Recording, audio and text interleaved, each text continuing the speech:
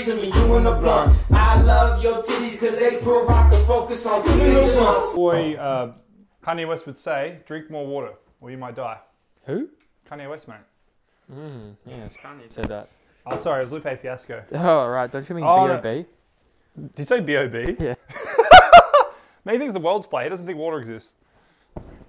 Hello, we're Jungle Beats today. We're here to do a review of Mick Jagger's new single that came today with Jungle Beats. My name is uh, blah, blah, blah, blah. This is my friend. Who do you think you are? Alexander Sandalis? Fuck no. If, I, if I was you, I'd be drowning in pussy.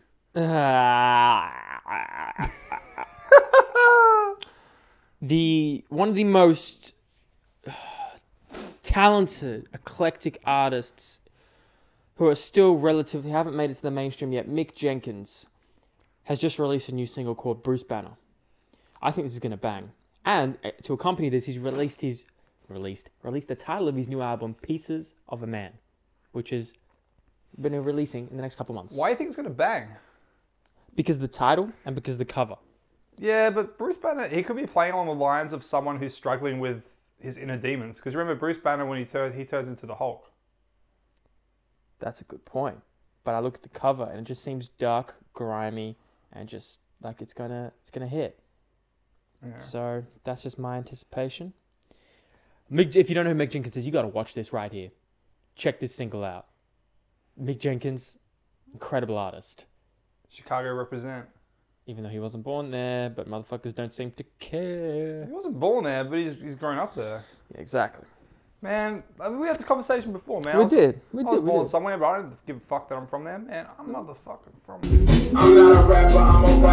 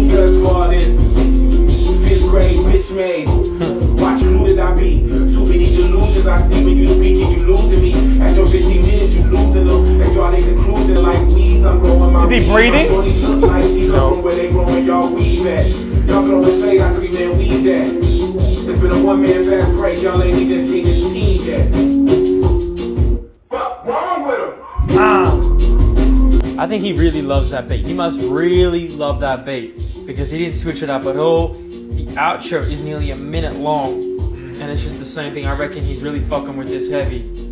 just the beat, yeah. And maybe he didn't need to drop another verse because he already said so fucking much. He did, man. Like you said. What'd you catch? I catch a lot of wordplay. I got some cool wordplays. Ooh. There was one cool line where he said they're watching TV until they Stevie. And that means until they go blind because Stevie Wonder. Right, right. So I he, that- he uses Stevie a lot. Yeah. But like, Um, really cool line there. Like I said, none of the rapper can come up, come after me except for Kendrick. That was a, And I was like, I know y'all mad. Some shit like that. Just having that braggadociousness Yeah, to his that he's always kind of had.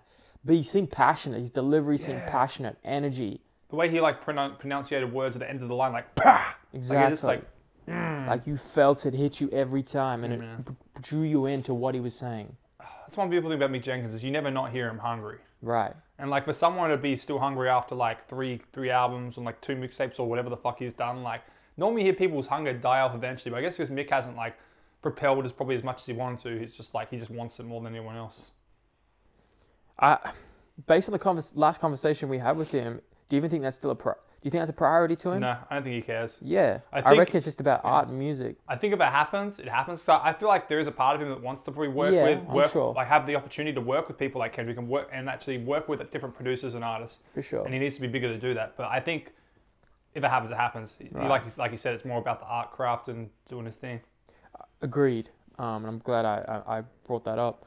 Um, that's a great track. The energy's there. I, to critique it, look, Maybe a switch up would have been refreshing, especially towards the end. Maybe that out long outro wasn't needed, but I'm happy with that. Yeah, I feel like there's a reason for that long outro. Maybe he just meant to ponder after what he said for that four minute outro. But then again, like I said, I wouldn't.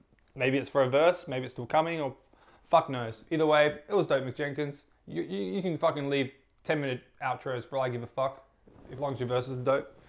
Yeah, Mick. Hey, if you don't know who Mick Jenkins is, um, check out his mixtape, uh, The Waters, Waves, and then the Healing Component album. And then on more the frustration, or more the anxious. Jesus Christ, he's got fuck. a discography. Trees and Truth as well. We're gonna go back to the real beginning, yeah. But um, yeah, if, if there's only one you want to listen to, go ahead, check out The Waters first, and Yeah, then that's see what big you one. feel. Mm-hmm. Um, Mick Jenkins, we're looking forward to Pieces of a Man. We'll be right on it. Exactly, man. Big fans of your work. Loving what you're doing. Keep it up. We Jungle Beats. We Jungle Beats, man. It was six o'clock in the eve. We thinking about going ham. Shots in New Amsterdam and Key was rolling the trees. A couple shorties came through, shoulders cold as the breeze. Added a little liquor, shoulders increased a couple degrees.